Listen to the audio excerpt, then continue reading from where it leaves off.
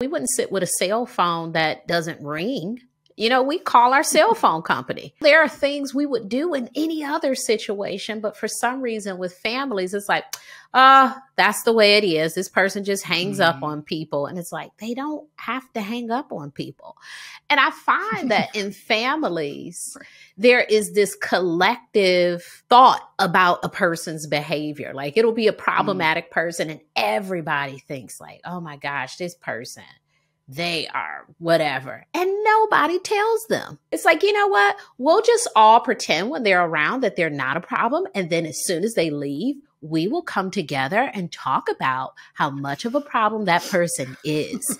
and that'll really get us going. And then it'll yeah. happen again. Well, hello there, and welcome to a very special episode of The Terri Cole Show.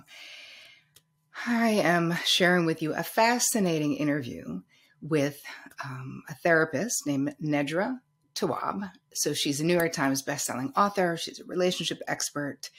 Um, she is she um, wrote the book um, about having better boundaries and creating peace. She's been a therapist for 15 years. Her new book, though, is so fascinating. It's called Drama Free A Guide to Managing Unhealthy Family Relationships.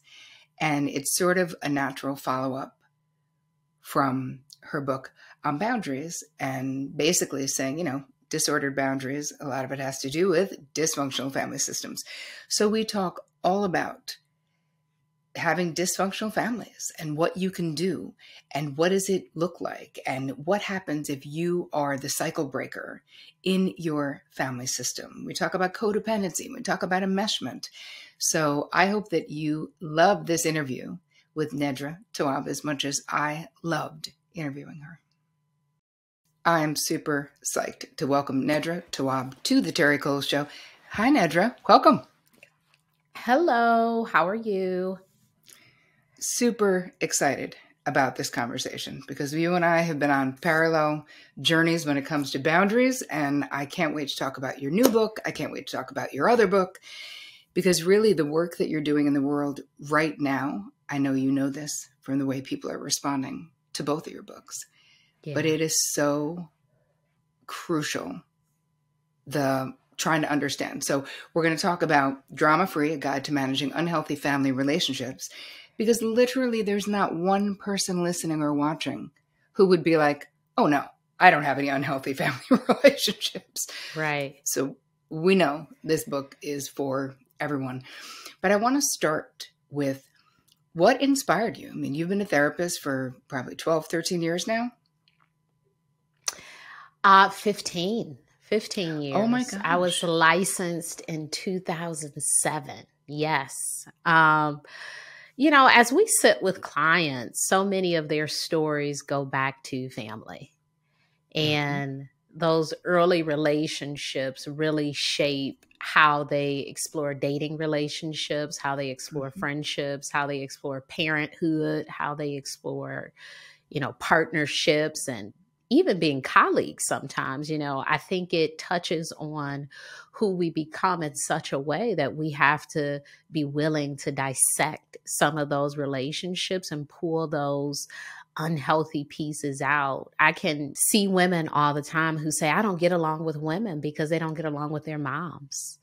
Or, you know, you see women who may say, you know, I don't I don't know about relationships because they saw their their parents dysfunctional relationship or you see couples sometimes where they both have these unhealthy family relationships and it comes up in the couple stuff that they're just reenacting some of these things. So so much about who we are and how we engage with others is really rooted in our families. Indeed. I want to ask you though for you what inspired you to a become a therapist? Can we just start there? A little bit of your backstory of like what why why did you want to do this?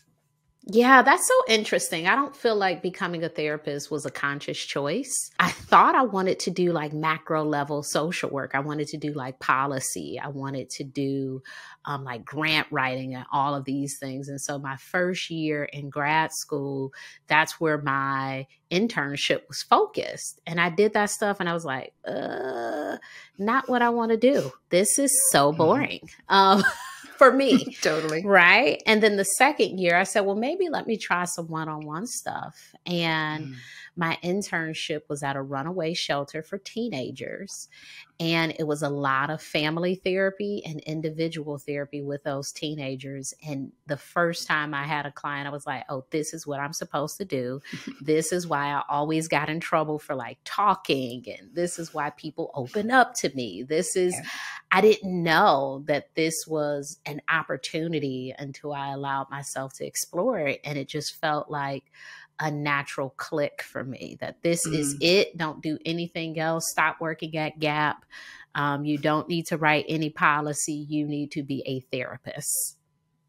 It's it's so amazing how you can it can find you yeah. even though you weren't necessarily looking for it, but there's no denying that feeling of like, oh yeah, this is right. This is what I should be doing, which is so I don't know, it's why we do it, right? It's why we keep doing it for you from being a therapist being in the trenches with your clients how did i want to go back to you know set boundaries find peace a guide to reclaiming yourself your first new york times best-selling book how did that get chosen as the topic because i know my story of why i chose it but i'm so curious to know from your your experience why were boundaries what you chose Ah, I want to hear your story too. But my story is I would say about midway through my career when I started seeing more adults and not children, I noticed this theme around work life balance. I treated couples. I work with people who were having issues in their family relationships. And a lot of what they talked about was what they thought in their heads, but they never said to other people.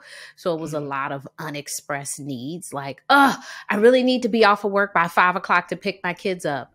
I wonder what would happen if you said that to your boss. You know, it's like, right. it's like, oh, yeah, I have an idea. Why don't you try to say that? Or while I'm cooking and, you know, the kids are running around, it's so frustrated. It's like, well, you're not single. Could you maybe ask your husband to grab the kids while you cook? You know, so these sort of things started coming up more and more. And I'm like, this is really like boundary issues. People don't know mm-hmm. how to communicate assertively, and their behavior turns passive aggressive in these relationships. You know, people will slow down at work, they'll start to not be as good as they used to be in relationships. You know, one of the things that I see go first is like sex, communication. Then they start to, you know, maybe have affairs and all these other things because someone isn't doing the dishes. So yeah. being able to to state your needs to other people, whether it's your mom, your boss, if you're the boss, being able to boss yourself well, all mm-hmm. of those things are really, really important. I don't think people see that as, oh my gosh, I have issues with an issue with boundaries as much as it is all of these things in my life need to change without me saying that.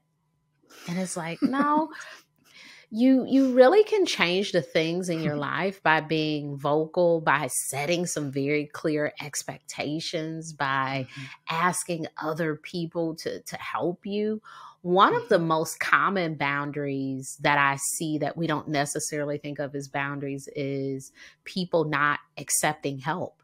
I see that so much with women. I see it so much with mothers unfortunately, there is something about the strength of a woman that just wants to be able to do everything herself.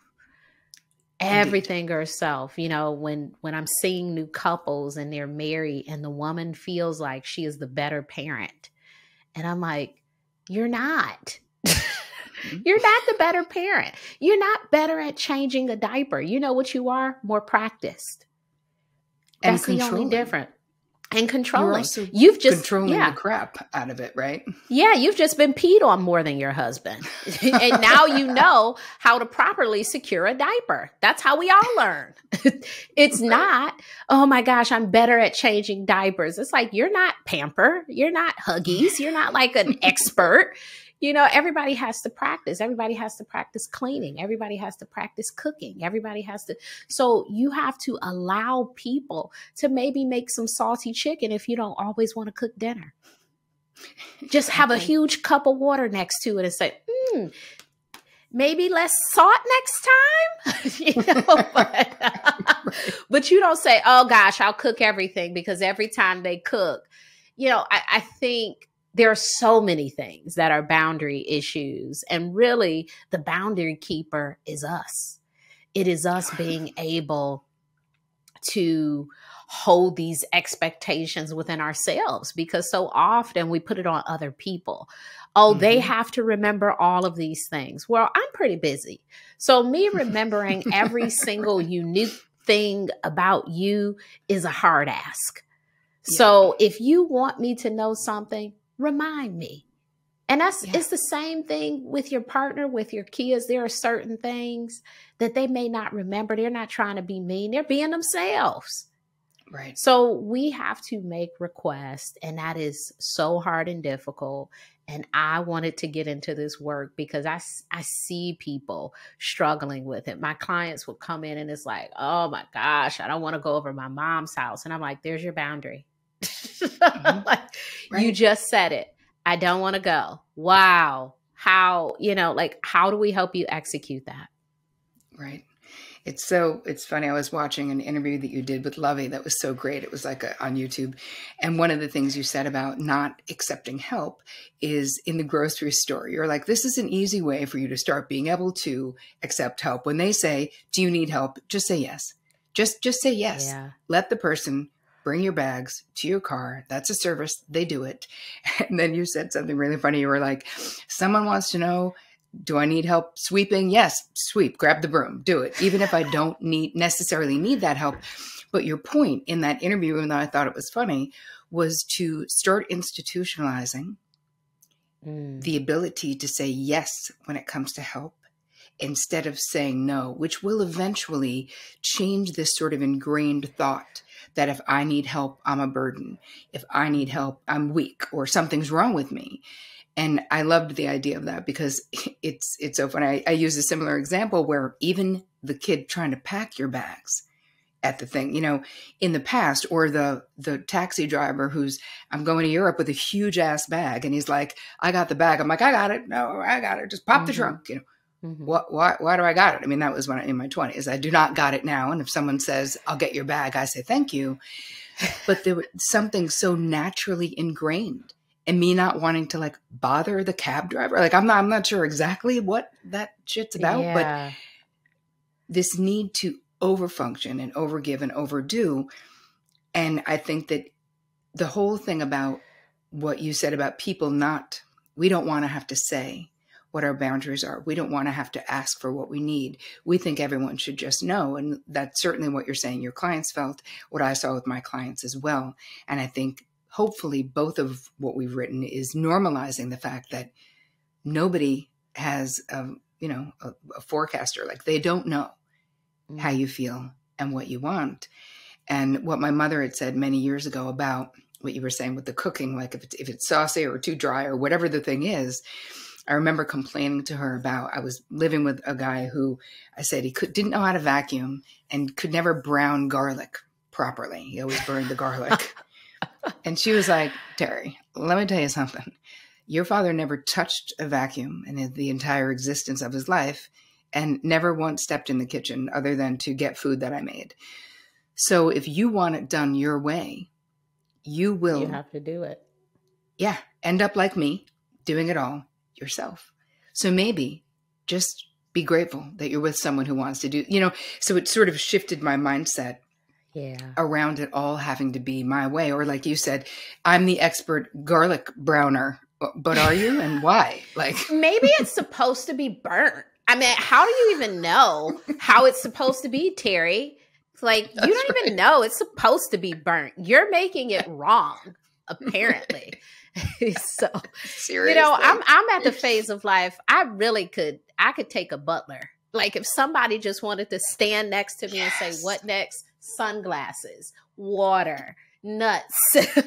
like, yes, go, go to Trader so, Joe's. yeah. Oh gosh, why don't they deliver? I could go on Please. and on about that. But you know, I, I think that we have to get better at having a little list. I remember when I had my first child and people were like, What do you need? I need somebody to sweep my stairs. Like, seriously, you don't need to hold a baby. Um, but I do need my stairs swept. I need a few meals in the freezer. I need mm. some nipple guards so my yep. nipple not rubbing up against the shirt. I need, yep. you know, like I'm just, can you water my yeah. plants? You know, yes. like these are things that need to be done. But the important thing for me to do is to hold the baby right? Yes. So I will hold the baby. I don't need you to come over here because everybody wants to come over and see the baby. Hey, no. the baby needs plants for oxygen. exactly. Who's going to take care of these plants? Can you come help with that? So please. We sometimes we just have to when I'm sick, what do I need? I need, you know, someone to go to CVS and grab my prescription, or I need someone mm-hmm. to, you know, make sure I have some alkaline water or whatever it is you need yep. when you're sick. Yep. You have to be able to say, okay, because there are many times where we're re experiencing the same things. And then our story becomes, no one is ever there for me. Yep. And often we won't let them be there. Yes, it's so true. But you you make such a good point though, Nedra, of letting people know the things that we need and that will make us feel loved and supported, as opposed to someone coming over to hold the baby, fine, grandparents like initially. But if someone says, I really want to come help, and we're able to say, Do you know what would be helpful? Mm-hmm. You know what would make me feel really loved and cared for? And that these are boundary things that we're talking about is asserting what we actually need and not feeling like our specific needs are burdens, right? If I have a preference, how is that a burden to someone else? But in a way, we were trained to believe that we should just be grateful that they want to come and hold the baby. And you're like, but no, because that's not actually what I need. Yeah. But where does it come from that we feel like a burden? Mm. Childhood. Of course. Childhood. Many of us are really taking that energy that we may have felt from an exhausted parent or from a frustrated parent, and we are saying, I am still a burden. Even now, with my friends, with my partner, with my parents, as I am an adult, I am a burden for asking for help with my laundry or a ride to the airport or these other things because it could be true that at a, a particular time someone may have been ugh i don't feel like it. Ugh another mm-hmm. thing. But we can't take that energy into every relationship. Right. And we have to consciously recognize it and choose not to and understand wow this is a repetition of some kind maybe this it's not appropriate for this situation you know mm-hmm. early on i want to talk a little bit i want to talk a lot actually about drama free about the new book and about what you're sharing in the new book and i think it's so amazing early in the book you discuss the importance of unlearning dysfunction right so we all have modeled behavior we all have things that we may not be normal but it's mm-hmm. normal to us so mm-hmm. share a little bit with people watching this or listening so what does dysfunction look like and how can they recognize dysfunction in their own families? There are levels to dysfunction. Dysfunction could be your mother is critical about your marriage. It could also be that you have some sibling rivalry with one of your siblings. And, you know, larger scale for some of us, it could be struggling with a family member who has an addiction, mm. struggling mm-hmm. with someone who has some mental health issues that they're not willing to treat or maybe they're they're treating them but they're not getting better and things are getting worse. It could also be having, you know, to be the responsible person in the family and manage everything. So there are all sorts of ways in which we can be dysfunctional in a family. And that word is really challenging, right? Dysfunction is like, oh my gosh, that's such a heavy word. We think of these really mm-hmm. heavy things like sexual abuse, neglect, and physical abuse, when in actuality, most dysfunction is just a pattern that is a problem. It is something mm-hmm. that is not working for one or more people. It could be when you say something to your to your mother and she gets upset, she just hangs up on you. Is that mm-hmm. the same as physical abuse? No. But for you, that is a big problem. That is dysfunctional. Yep. Do we need to say, "Oh, that's not a problem. It's not it's not physical abuse." No, it is a problem for you, therefore it is important. Mm. I think that point it's so easy, and I've seen it for decades with my clients, minimizing their mm-hmm. own experiences because they're always like, I know other people had it worse. I'm like, uh, hello, I'm not talking about other people. Or they say, listen, I know my parents did so much better than their parents did. I'm like, your 10 year old does not give a shit about that at all. The, the, the little you, right? The, the little person within you, your small self, doesn't care. And it is a problem. If it hurts your feelings that your mother hangs up on you if you say something she doesn't like, that is a legitimate problem. And it also is dysfunctional because it's communication cut off. It's it's it's rude, it's painful, it's kind of mean. Mm-hmm. So I think that we all have to look at what are the things causing us pain in our family relationships right? And you don't need to, it doesn't have to be quote unquote like legitimized by anybody else. If it feels painful to you, then it's something that you need to handle. So, what do people do, Nedra, in your professional opinion? We all come from dysfunctional families, pretty much. I mean, maybe there's a very, very small percentage of people who didn't, but I don't, I've never met them in 25 mm. years of mm. being a psychotherapist, literally yeah. never.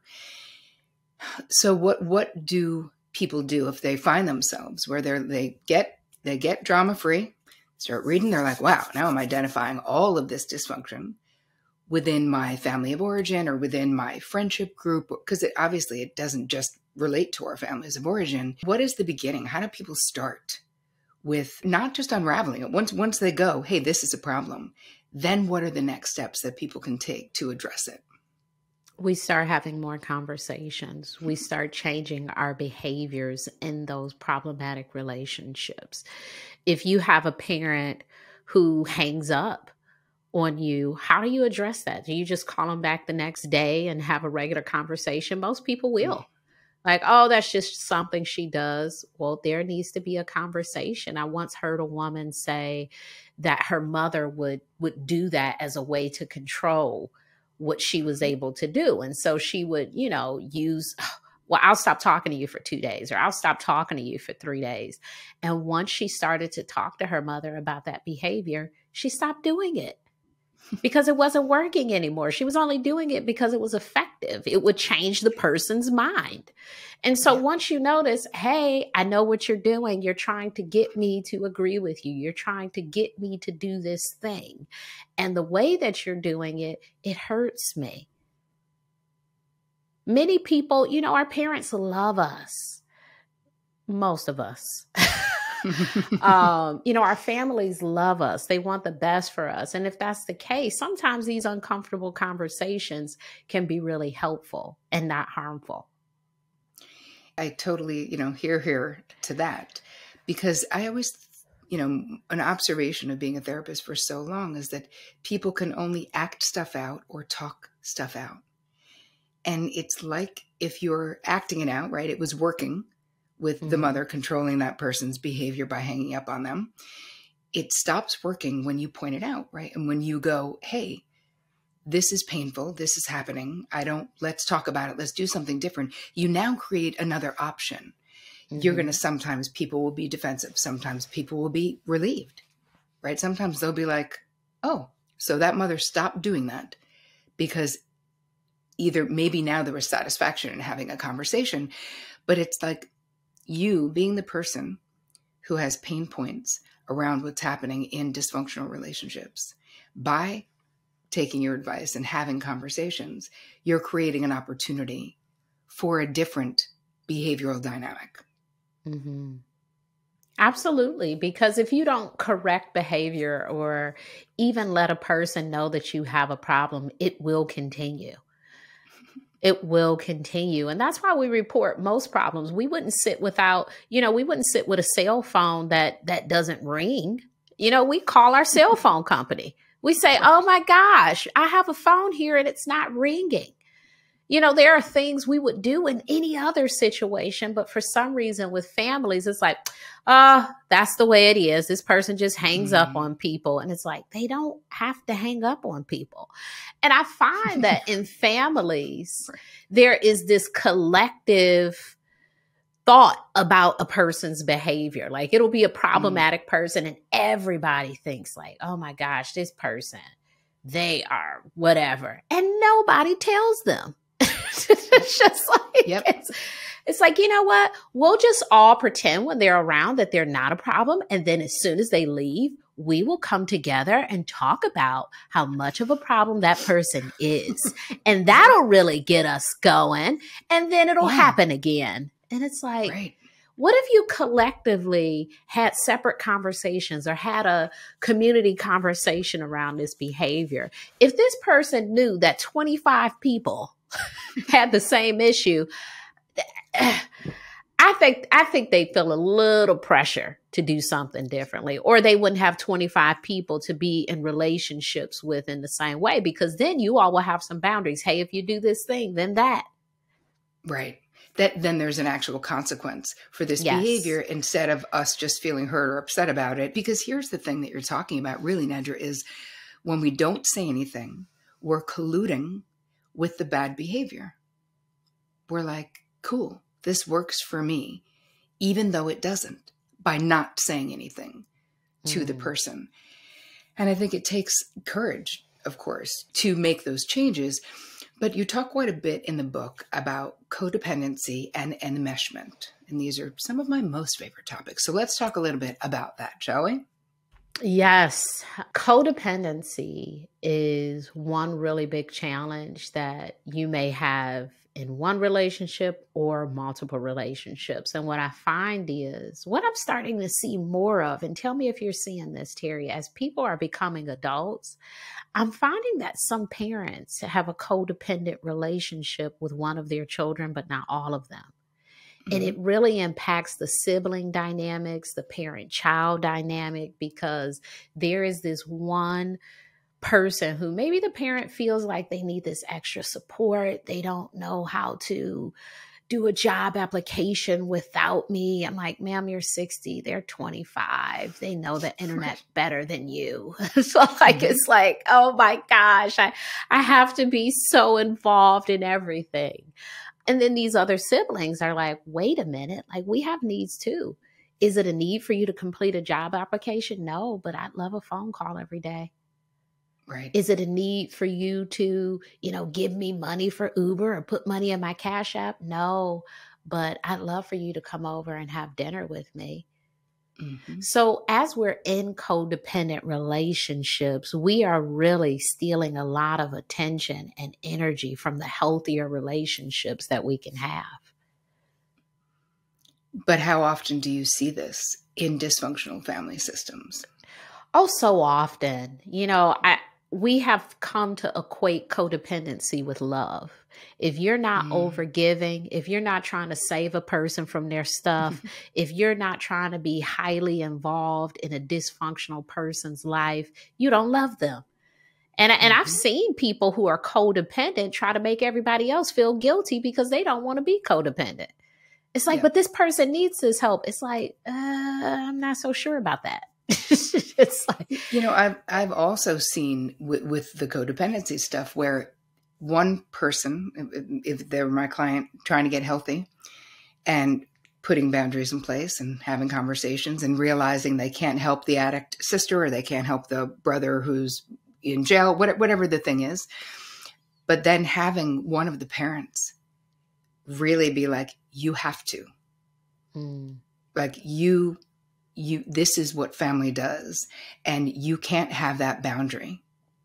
And going up against the the family the cultural norms behaviorally within the family system where it's like this is what we do.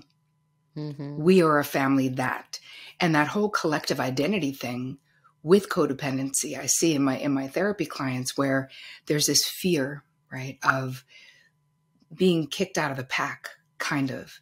If I don't do the thing that my mother says I must do to be a good sister?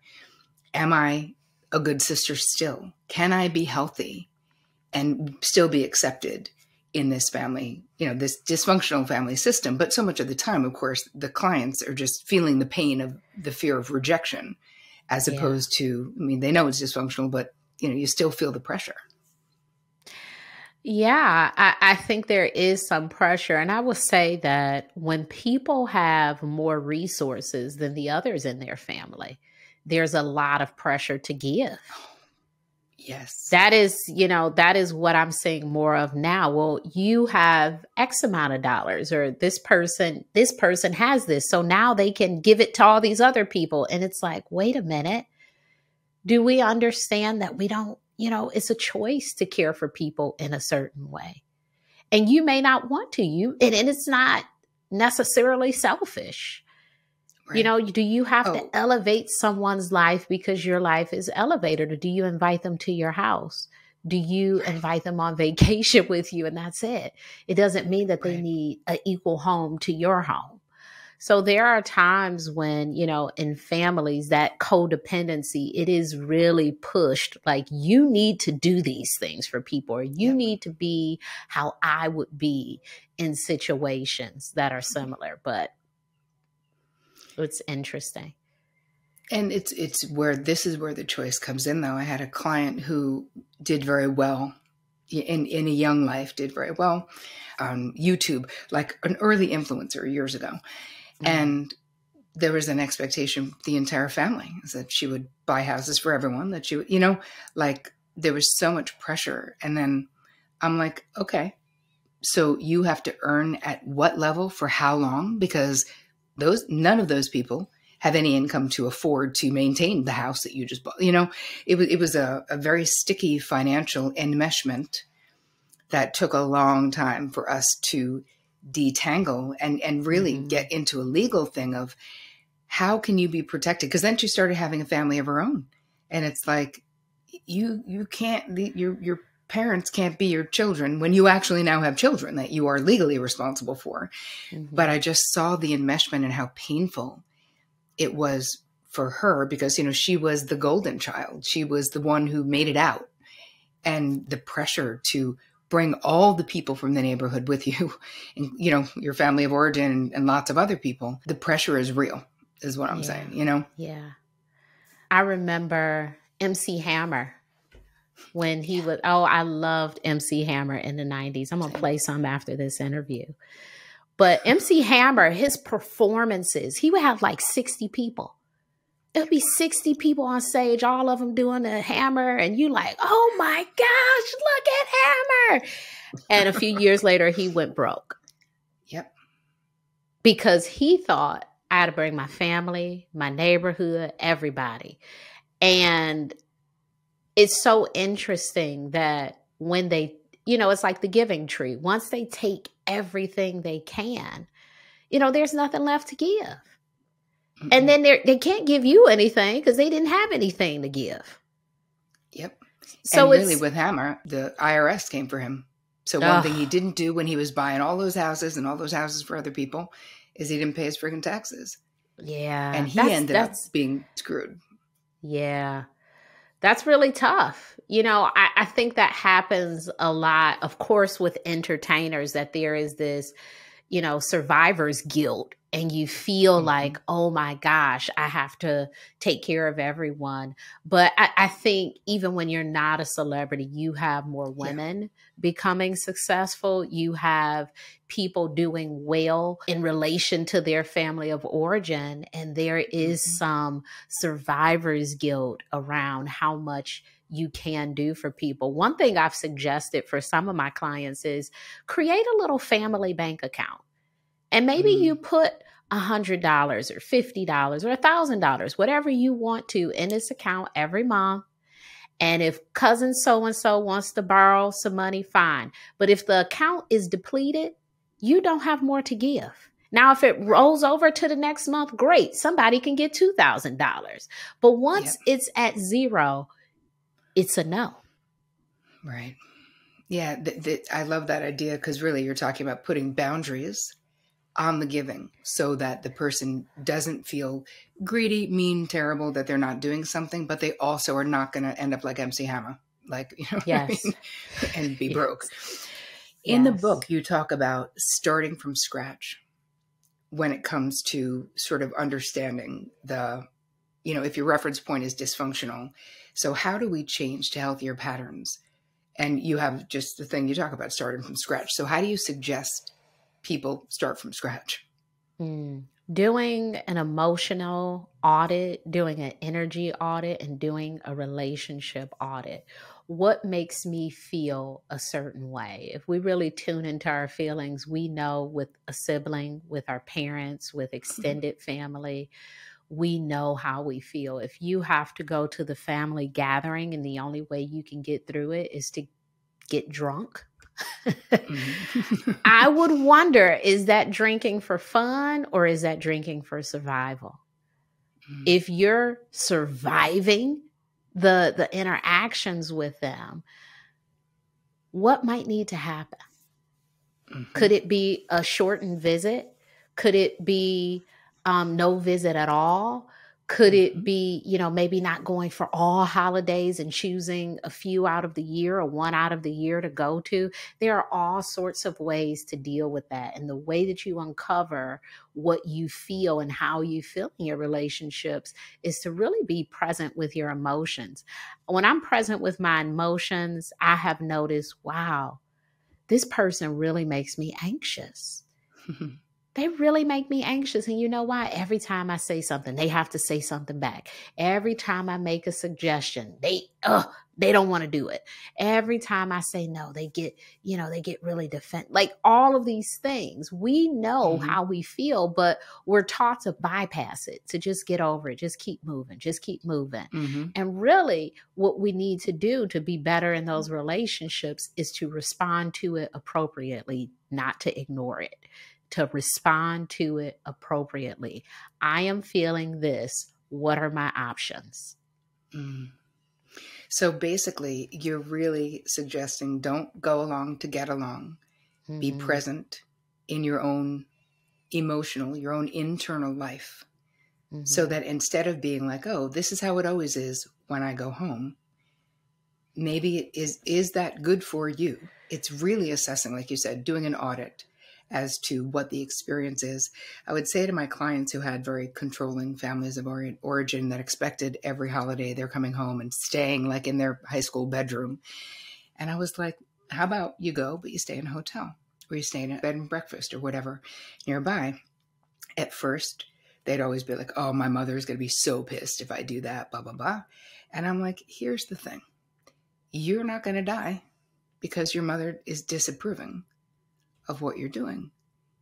And would you want to actually go home more if it was more like a vacation and you stayed in a hotel and you had you, you were limiting the amount of time you were interacting with this dysfunctional family because we both know and you say this over and over in the book we're not changing other people right when we mm-hmm. change they have the opportunity to respond differently to us but the only thing we can control.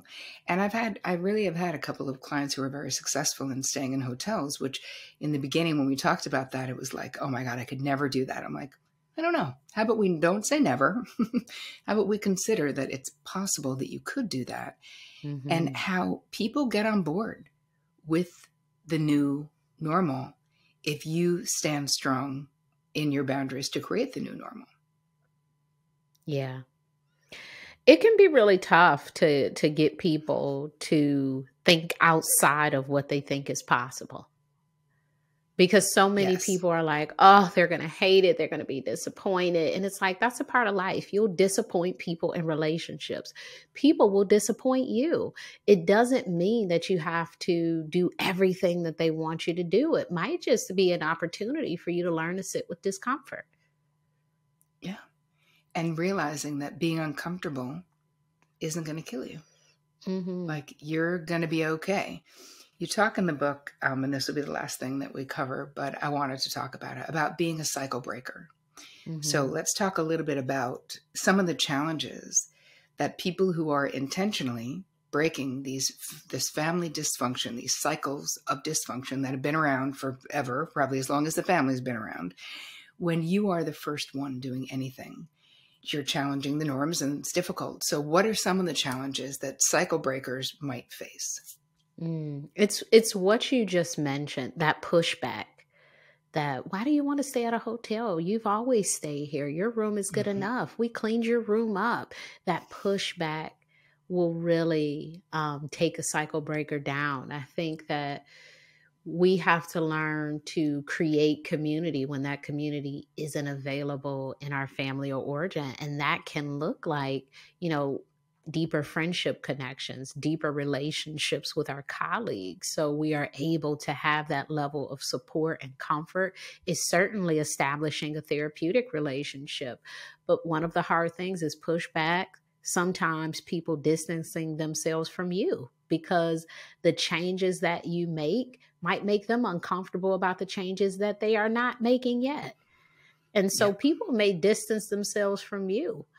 Um, I, I think another thing that happens with cycle breakers is not having community. Sometimes some mm-hmm. cycle break, breakers try to operate in isolation you know, I'll just be by myself. No one understands me. And that's not really a space to be in. That's why we need that community support, that collective care from our village.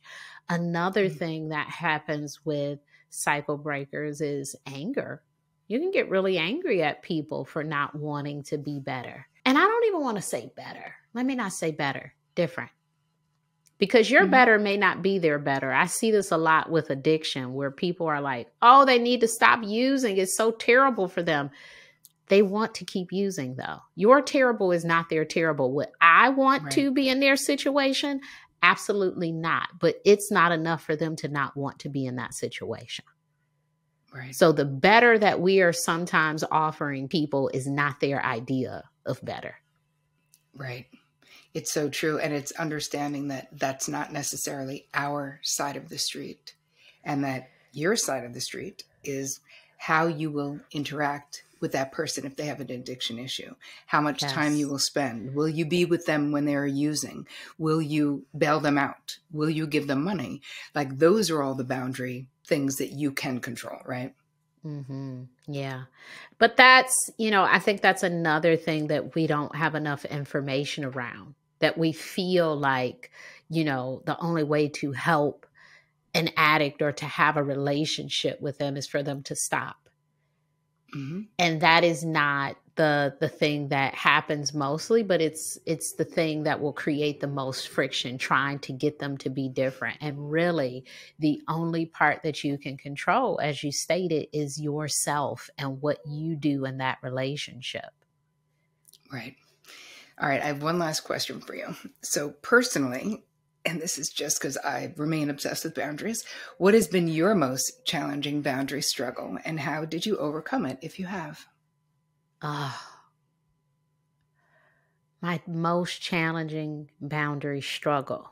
I would say, you know, one of my challenging boundary struggles has been getting people to like my boundary. it's like why don't they just like this boundary? It would make everything so much easier. Uh,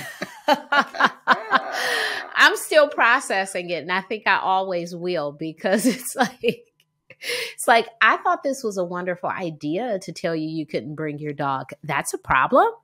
mm-hmm. right. So yeah, sometimes I am still a bit bothered when people are like, I can't believe you would say that because for me it's so rational, right? It's right, it's something right. I've thought about for a long time. It's something that I've ran past like eight people and they all agree with me. Maybe they're lying. um something I've talked about in therapy and then you know, it really rational boundaries don't even matter when you're saying mm-hmm. it to a person who wants a different thing. Right. Like it doesn't even matter. Like if you say to someone, "Hey, you can't bring your dog because your dog isn't trained. I don't want the dog peeing all over the floor." Da, da, da. Sounds like that makes sense. Like, hey, this person doesn't want you know accidents all in their house. But to the person receiving that, they're like, "I can't mm-hmm. believe you would say that to me." reject my dog. Reject me. yeah, reject my dog, reject me. We are done with this relationship. It's like, oh my gosh, what did I do? Um, so yeah, just dealing with the response that some people mm-hmm. have when you place a boundary. I just want people to be like, yeah, I get it. I understand it. And that doesn't always happen. Oh, I feel you. All right, tell us what you're lit up about and where people can find you. Obviously, your book is out and about, so people can get that everywhere fine books are sold. But tell me where people can find you. Uh, you can go to my website. All updates and information that you may need is there. Um, what am I lit up about? I am lit up about so many things. The main thing I'm lit up about is rest. Um, I did a book tour about a month ago. I did not have a book tour for Set Boundaries, Find Peace. So this was my first book tour. Um, I am a mother of two. I am married. I have practice and I do all of this, you know, Instagram stuff. So I have been really leaning into rest and doing nothing and binging TV shows and mm-hmm. lighting my favorite candles and having dates with my friends and hanging out with my family and you know, just getting lost in online searching of nothing, you know, just like, mm-hmm. just decompressing. And it's been really good. That's what I'm lit up about. I think we can go, go, go, go, go. And we also have to rest, rest, rest, rest, rest. So right now, mm. um, I love Rihanna's work, work, work, work, work. But I love that we see her right now resting, resting, resting. So cooking cooking another human, taking care of her baby. right. Yeah. So yeah. uh no more work hard, play harder, work and rest. Indeed. I love it so much. Well, thank you so much for spending so much time with us today. I super appreciate you and all of the good work that you are doing in the world. Thank so thank you. you, thank you, thank you. You're welcome.